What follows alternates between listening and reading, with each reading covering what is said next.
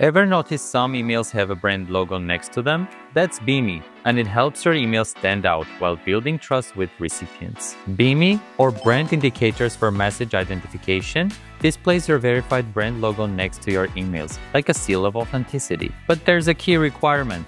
BIMI only works if your domain has a reject or quarantine DMARC policy. This proves your emails are legitimate and secure.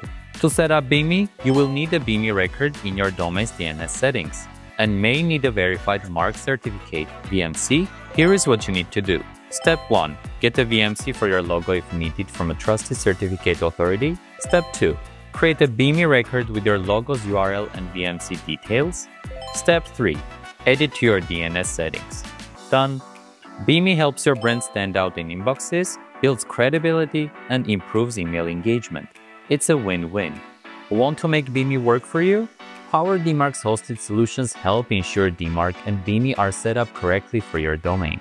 Visit powerdmarc.com and get started.